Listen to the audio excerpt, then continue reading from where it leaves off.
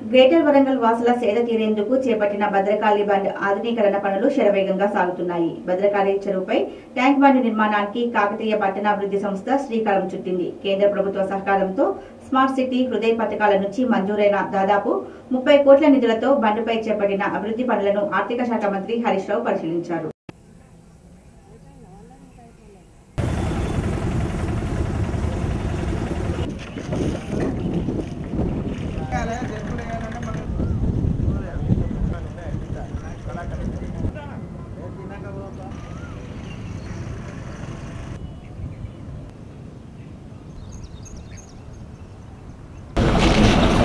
Gara, hello.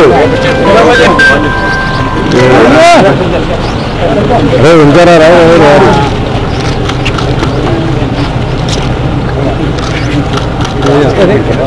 ചെയ്തി ചെയ്തി എന്നാ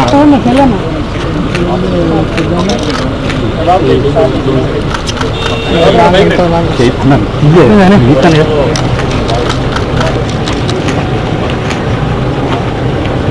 ఇరవై ఐదు కోట్లతోటి భద్రకాళి ట్యాంక్ బండ్ను పూర్తి స్థాయిలో ఫస్ట్ ఫేజ్లో తయారు చేయడం జరిగింది.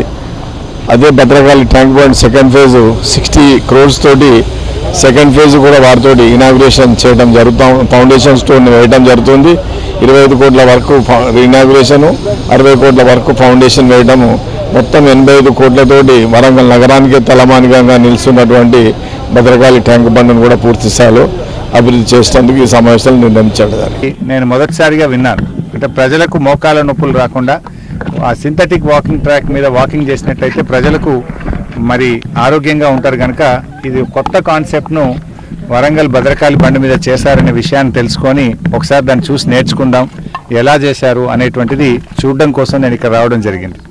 కానీ సింథటిక్ వాకింగ్ ట్రాక్తో పాటు ఇక్కడ చేసినటువంటి అభివృద్ధి ముఖ్యంగా వరంగల్ యొక్క గొప్పదనాన్ని చాటే విధంగా మన వేయి స్తంభాల గుడి మరి మన రామప్ప వాటన్నిటిని కూడా ఈరోజు ఈ బండి మీద కనబడే విధంగా చేశారు.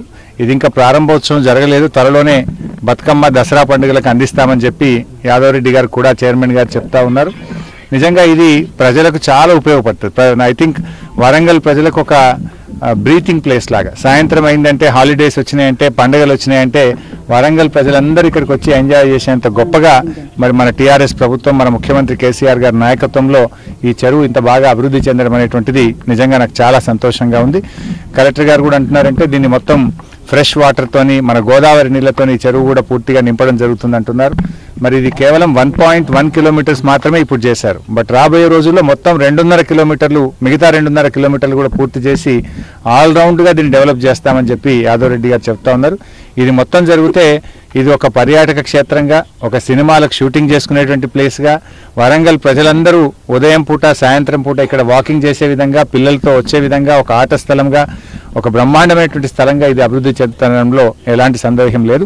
ఇలాంటి మంచి పని చేసినందుకు కుడాను వరంగల్ కార్పొరేషన్ అధికారులను మా జిల్లా కలెక్టర్ గారిని మరి అందరినీ కూడా హృదయపూర్వకంగా నేను అభినందిస్తాను